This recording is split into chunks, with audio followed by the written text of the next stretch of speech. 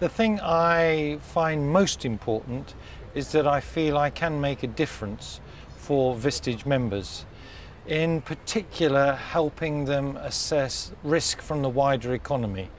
Uh, my main objective is to help them be at least a year ahead of the game so that if there's going to be a recession, they're ready for it. If there's going to be an upturn, they're ready for it. I think that's the dominant thing. The, the other thing is I really get a buzz dealing with people who have lots of energy and the ability to think and then act. So I think that's really important in Vistage. A whole bunch of people who've got the energy to make a difference for their business and for their lives. Good afternoon. Now, I'm not going to talk about the economy because of course there's not a lot to talk about. but what I am going to talk about is strategy. And uh, strategy is one of those wonderful words that everyone has their own interpretation of its meaning. Strategy is not business planning. Strategy is certainly not budgeting. Both those exercises budgeting and business planning, they use our left brain. That's the part of our brain that in the British education system we were taught to maximize the use of. Strategy uses right brain thinking. And right brain thinking is essentially outside in. It's creative, it's an imaginative process. That's what strategy is about. My definition of strategy is very, very simple. Strategy is the statement of your business's value proposition.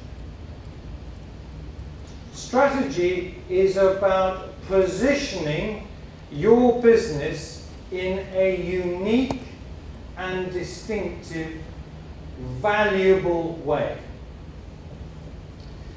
And if it's not written in very, very simple English, then your customers, both actual and potential, aren't likely to understand it. You might, but most of your employees probably won't.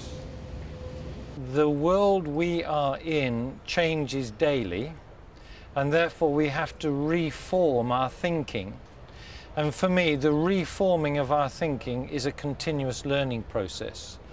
And so it's all about adaptation. In order to adapt, you have to learn, but there's a loop. You adapt, you learn, you learn, you adapt. And therefore, there's no question for me, and I'm sure it's for group members, if I don't learn something new every day, then it's not been a great day. I want you to think about what I call positioning strategies. There are a number of choices. And I'm actually going to ask you to work with this simple idea in a moment. Very simply, on this axis, we have market focus or customer focus.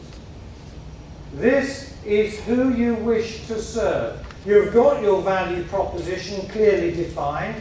That means there will be a lot of customers, potentially, who actually you don't want actually. Because what they want doesn't match up with your distinctive value proposition. So actually, one of the things to do is to be clear who you do not want to serve. Now, you can either have a broad approach or a narrow approach. And this can be uh, on a, it doesn't have to be on a geographic basis. In other words, you can serve a few customers of a particular type, but on a global basis. Or you can serve very many customers of all types on a local basis.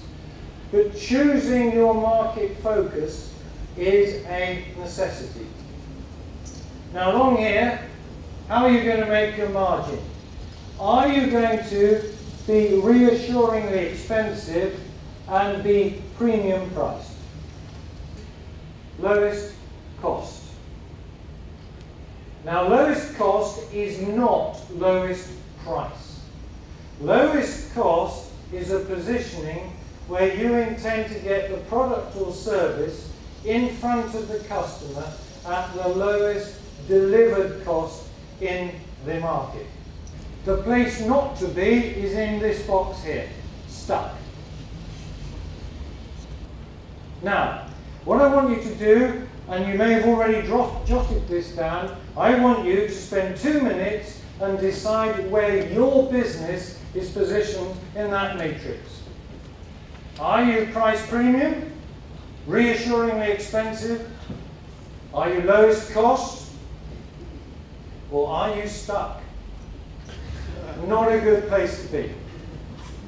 So, if you can't place yourself in this matrix, and if you can't very simply, in English, describe your value proposition, you may have a business plan, you may have a budgeting process, but you haven't got a strategy.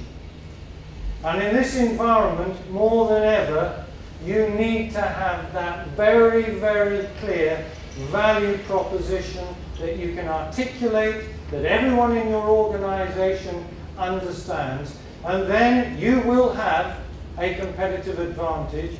And indeed, in a shrinking economy, you will make money, more money than the other players in your sector. That's the whole point of having a strategy. Thanks for listening.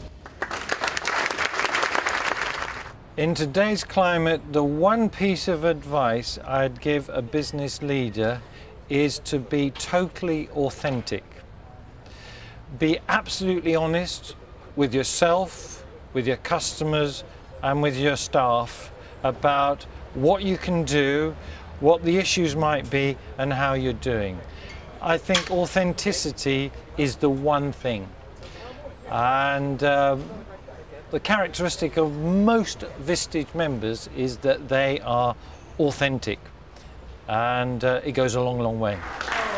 Ladies and gentlemen, it is my great honour to present the, tonight the for the first time been introduced this year to the Long-Term Achievement Award.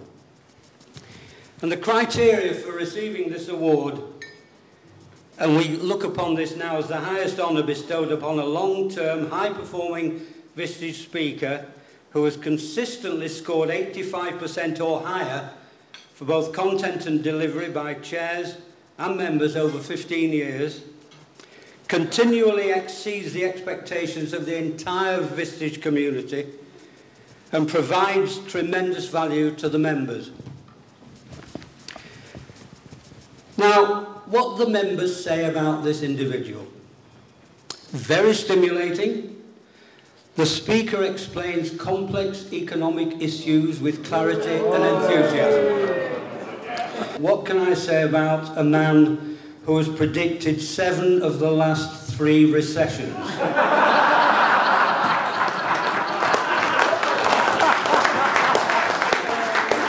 Ladies and gentlemen, keyboard player extraordinaire, the man who is a contradiction in terms, he's actually an entertaining economist, Roger Martin Fagg I'm amazed at getting this. I guess it's because I'm old uh, and been around some time. For me, a Vistage is a great experience. I learn something every time with a Vistage group, and that's what keeps me going and makes it well, well worthwhile. Uh, so thank you all chairs for booking me. Thank you for keeping your groups together. And of course, if there was ever a time that Vistage was needed by the British community, it's now. So the membership should be expanding.